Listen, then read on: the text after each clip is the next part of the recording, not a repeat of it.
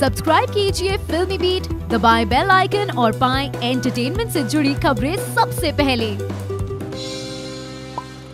मैं शिव कांत गौतम, आप सभी का स्वागत करता हूँ। आपने लॉगिन किया है फिल्मी बीट। बिग बॉस सीज़न 11 शुरू हो गया है और बिग बॉस में एंट्री लेने वाले अब की बार एक से एक धाकड़ रहे।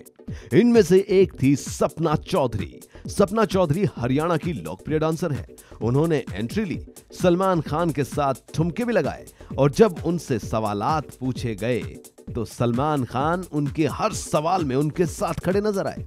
जी हाँ, सपना चौधरी पर इल्ज़ाम लगा कि वो अश्लील डांस करती हैं। सपना ने उसका जवाब जैसे ही देना शुरू किया, सलमान खान उनके साथ नज़र आए। सपना ने कहा कि अश्लील डांस अगर वो करती हैं तो बॉलीवुड की फ़िल्मों में होने वाले हर एक आइटम सॉन्ग भी अश्लील हैं। उनको भी अश्लील कहा जाना चाहिए। सलमान खान ने सपना का साथ देते हुए कहा कि इनकी ये ड्रेस, जिस ड्रेस में अभी हैं, ये उन्हीं में डांस करती हैं। क्या ये कहीं से अश्लील लगती हैं?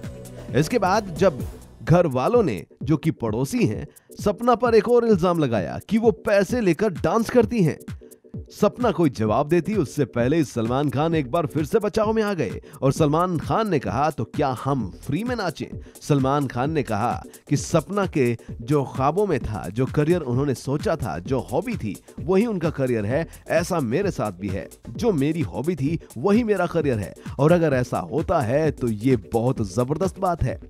सलमान खान सपना के साथ कटघरे में खुद भी खड़े नज़र आए। हालाँकि सपना चौधरी की इमेज एक कद्दावर डांसर की है, जो लाखों की भीड़ में बेबाक डांस करती हैं। लेकिन सलमान खान के इस शो में उनका एक दूसरा पहलू भी देखने को मिला। उनकी आवाज़ से लगता है कि ये बहुत ही सॉफ्ट सी लड़की है। उन्होंने ये भी बताया कि किस वजह से उन्होंने एक बड़ा कदम उठा लिया था। सपना ने बताया कि उन्होंने जहर खा लिया था। वो बच गई। सलमान ने पूछा कि आखिर ऐसा कदम क्यों उठाया? तो सपना ने कहा कि वो लोगों की सुनती थी और सुनने की वजह से उसने यह कदम उठा लिया था। जहर खाने के बाद जब वो ज़िंदा बच गई तो उन्होंने लोगों की सुनना बंद कर दिया और अब सब ठीक है। सलमान खान सपना चौधरी के हर मोड़ पर उनके साथ खड़े नज़र आए। अब देखना यह होगा कि बिग बॉस के सीज़न 11 में क्या सपना चौधरी सलमान खान की फेवरेट बनेंगी। फिल्मी बीट में फ़िलहाल इतना ही।